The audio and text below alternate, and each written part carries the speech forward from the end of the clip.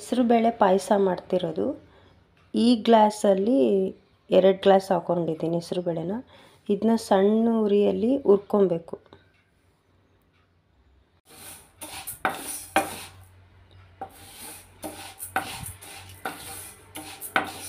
ಒಳ್ಳೆ ಸ್ಮೆಲ್ ಬರುತ್ತೆ ಅಲ್ಲಿವರೆಗೂ ಇದನ್ನು ಹುರ್ಕೊಬೇಕು.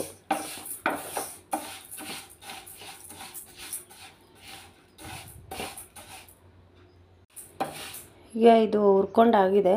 ಇದನ್ನು ಕುಕ್ಕರಲ್ಲಿ ಹಾಕ್ಬಿಟ್ಟು ಎರಡು ವಿಜಿಲ್ ಕೂಗಿಸ್ಕೊಳ್ಳೋಣ, ಬೇಯಿಸ್ಕೊಳ್ಳೋಣ ಫಸ್ಟು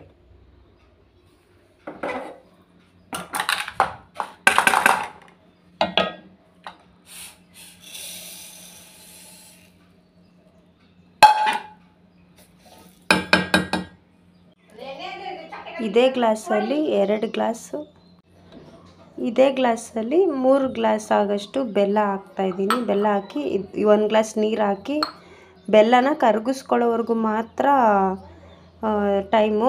ಪಾಕ ಥರ ಏನು ಮಾಡೋದಿಲ್ಲ. ಫುಲ್ಲು ಅದು ಮೆಲ್ಟ್ ಆದಮೇಲೆ ಹೆಸ್ರು ಬೇಳೆಗೆ ಹಾಕ್ಕೊಳ್ಳೋಣ ಈಗ ಹೆಸ್ರು ಬೇಳೆ ಕೂಗಾಗಿದೆ ಟು ವಿಷಲ್ ತೊಗೊಂಡಿದ್ದೀನಿ.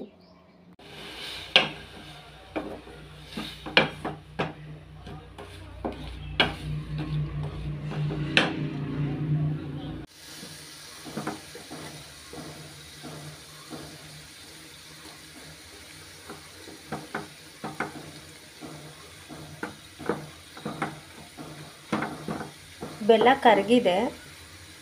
ಇದನ್ನು ಆಫ್ ಮಾಡ್ತಾ ಇದ್ದೀನಿ.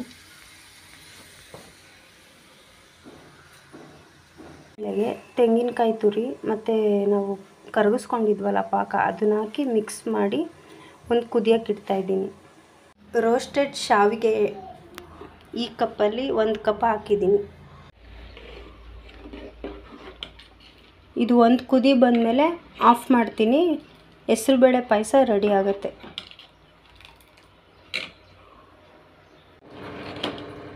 ಪಾಯಸ ರೆಡಿಯಾಗಿದೆ ಹೆಸ್ರುಬೇಳೆ ಪಾಯಸ.